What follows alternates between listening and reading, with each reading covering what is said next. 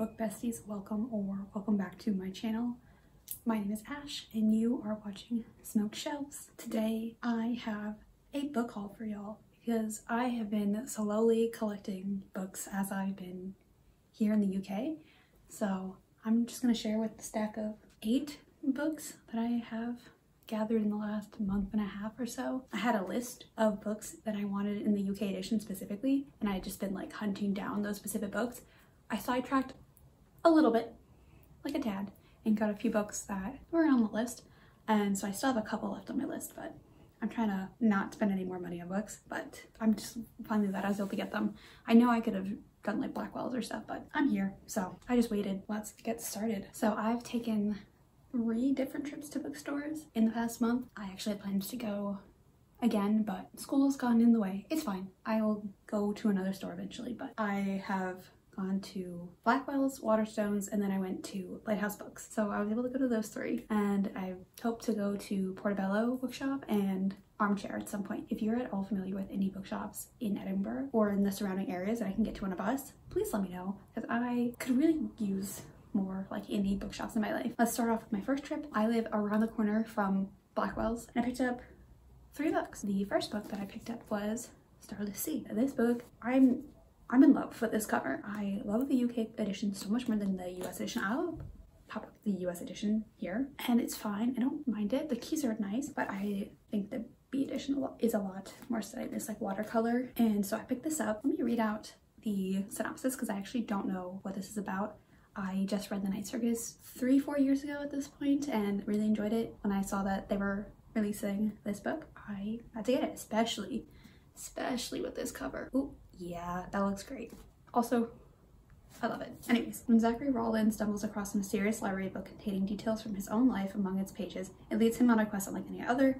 Following the clues inside, he is guided to a masquerade party in a dangerous secret club and finally to a labyrinth filled with stories, hidden far beneath the surface of the earth. But when the labyrinth is threatened, Zachary must race through its twisting tunnels and crowded ballrooms, searching for the end of his story. Yeah, all I knew about it was that it's a book inside a book, um, or a book about books. I haven't read too many books with that kind of concept of book inside a book, so I actually don't know if I like it yet or not, so maybe this will tell me. It was a buy two, get one free. All the books that I got were under the stamp for it, so I got Passing Playbook, which I actually don't know what this one's about either. I've seen it around on Booksta a lot and I know it's queer. That always gets bumped up on my list if I want it. Let me read the synopsis for this one. 15-year-old Spencer is a proud nerd, an awesome big brother, and a messy in trading. He's also transgender. After a year of bullying, Spencer gets a fresh start at a new school with great friends, a spot on the boys' soccer team, and maybe even something more than friendship with one of his teammates.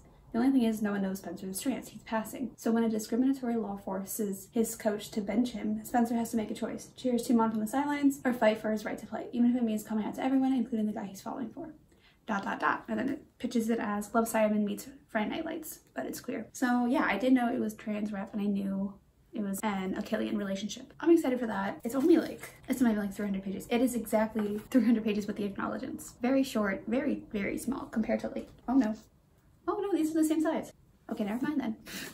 but it's small compared to like the US size, so she's just, she's small compared to like US paperbacks. I think that'll be a nice, fun, quick read. So the last book I picked up at Blackwell's was Stay Gold, more trans rep. I have to see if this is like a US edition. No, it definitely isn't because I'm pretty sure the US edition is blue and gold and this one's pink and I like this one a lot, a lot more. I, I don't really buy a lot of books based on synopsis. I like going in blind. So books like this, it's a beautiful cover. I've heard good things. I kind of know the like tagline, the pitch for it. So let me read it. Ooh, that is so hard to read. Pony plans to fly under the radar this year. Tired of getting too much attention at his old school after coming out as transgender, he's hoping for a fresh start at Hillcrest High Senior. But it's hard to live your best life with the threat of exposure lurking around every corner.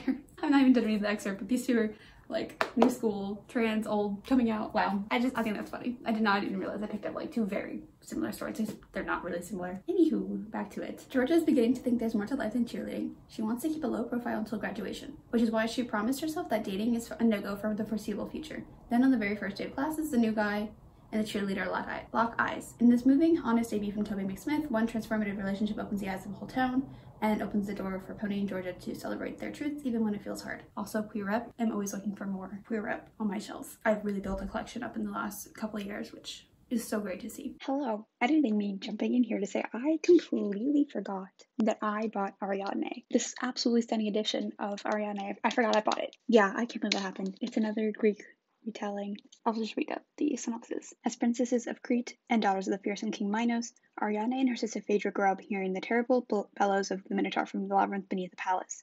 The Minotaur, Minos' greatest shame and Ariadne's, Ariadne's brother, demands blood every year. When Theseus, Prince of Athens, arrives in Crete as a sacrifice to the beast. Ariadne falls in love with him, but helping Theseus defeat the monster means betraying her family, and Ariadne, knows that in a world ruled by mercurial gods, drawing their attention can cost you everything. Ariadne has heard too many tales of women being punished for the acts of men. She is determined to set her own fate, but will her decision to help Theseus ensure her happy ending, or will she find herself sacrificed for her lover's ambition? Anyways, I had nine books instead of eight, so every time I say eight, think nine. The next book that I got was this, I don't think this light is doing it justice, incredible edition of The Song of Achilles. I feel like I need to just show it all. And it has like a low. It looks so good. I've been wanting The Song of Achilles for a long time. The US edition, again, is just not pretty. So I was planning on just getting the regular UK edition and then this released like maybe a couple months ago. Not that much before I got here. So it just felt perfect. It felt like this was meant to get into my hands. If for some reason you don't know what this is about, because I feel like it's everywhere, it is a retelling of Achilles and Patroclus. I feel like I can always mess this up. Patroclus. Patroclus? Patroclus? Oh no. I don't know. The myth surrounding Achilles, if you know it, and the Trojan War, and I know this is gonna break my soul, so I'm a little scared to pick it up. I also have Circe by Madeline Miller, which I've never read. I'm so glad I picked up this 10th anniversary edition. I picked this up at Waterstones. Obviously, it's a Waterstones exclusive. So now we're on the few that I bought at Waterstones, which I bought three at. The next thing I have is one that's a little bit outside my comfort zone, but is from a person that I admire and I would say is my idol, someone who I look up to. Yeah. So Fitter, Calmer, Stronger. Yes, yes, yes. Fitter, Calmer, Stronger by Ellie Goulding. If you know a little bit about me, you know that she is my favorite singer. I admire all the work she does with climate and just promoting healthy lifestyle and yeah. So it is a, I don't know if it's considered like a self-help or just nonfiction. I, I know there's like recipes in the back of this. I'm curious to see what else is in it because I assume there's a lot more towards exercising and just healthy lifestyle. I don't know if you can see that, but signed by the author. I just happened to be in Waterstones. I wasn't actually expecting it to find it there. I almost bought it online to get it signed. Yep, and I'm literally looking at this and staring at my, my wall of Ellie Goulding posters, so very fitting. Oh wait, I should probably show, let me show just one of the recipes. So yeah, there's recipes in it. I'm excited to just have this around. The last book I got at Waterstones was one that I've been hoping to get for a very long time and it is Radio Silence and I've started tapping it at this point. Oh, you can't even tell. Oh, you can kind of see it. Yeah, you can kind of see it. I've only like 30 pages in. I read Radio Silence way before I even would consider Oseman as my favorite author. Now I do. Yeah, so I picked up this copy. Stunning. Absolutely obsessed. And so I have this and my US edition now that I can cherish forever. If you didn't know what Radio Silence is about, I will do my best to explain it because I love this book so much and I feel like I can't explain it in justice. Basically, it's about Frances and Aled. Frances is the head girl of her school. Aled is he goes to the boys school that's they're like adjacent school they live down the street from each other and basically frances's big hobby in life is to draw art for this podcast called Universe City and Frances gets petitioned to make art officially, not paid, but officially for the podcast. Yeah, I don't think I want to give too much more, but I don't even think the blurb gives too much more. Just know it's about Frances and Aled's friendship and them growing together and just the struggle of going to school and knowing whether uni is the place for them and just teenage life things. I love this book so much. I cannot do it justice. Please pick this up if you haven't. It is my all-time favorite book. I feel like I hype it up just enough. And so moving on to Lighthouse books, I picked up two books there, both books that I want the UK edition. One, I'm very excited to have. To finish my Alice Oseman collection, I picked up Solitaire, which I think this is the one that was reprinted. This was their debut and she said she doesn't want to have Harry Potter in her references anymore, so she changed it out. Look at them. Happy to finally finish this. I have, I have to put up the cover. I have this edition and I don't know which edition this is. It's a really nice pink color, actually matches my vibe of the day. yeah, I'm very excited to have it. Solitaire is their debut. It follows Tori Spring. At the start of the book, there is an anonymous hacker, bullier, prankster, I don't know what term they really give it, named Solitaire that is basically causing mayhem at the school. Tori is trying to figure out what's going on. Then she meets someone named Michael. It follows them and their friendship. Please pick it up. Just just pick it up. If you're reading Alice Oseman and if you want to read them in order, I link like her website that she puts the timeline so you can see which ways to go in order. They're all standalones, but they kind of reference each other. If you want to read them in order, read this first, then go to Radio Silence. If you don't want to read them in order, start with Radio Silence.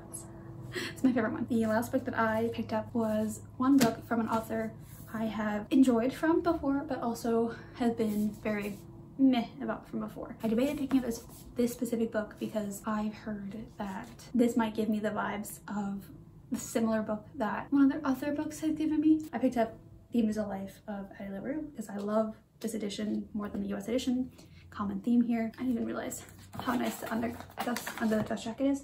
That's really pretty. That really intrigued me. But I loved Vicious and Vengeful. If you saw my Dark Academia vlog, I put that up here. Oh no, I'll put it up here. I just realized that the sticker doesn't come off.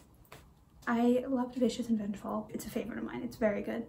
But I very much disliked A Darker Shade of Magic. And I really disliked it for Lila mostly. I'm a little worried that I straight up just forgot the name of the main character. It's Addie. I'm a little worried that Addie's gonna be like Lila. So that makes me a little bit stressed out. If this is something you haven't read yet or heard of, it basically follows Addie, Addie's life as she makes to deal with, it's not really a devil, a dark entity, and is allowed to be immortal, but is forgotten by everyone she meets until she meets someone named Henry and he remembers her basically and it follows their journey. So that's the last book. A large stack of books. Oh god. Can I do it? Can I get the stack up again? Let's see if I can do it. Oh god. Oh god. Oh god.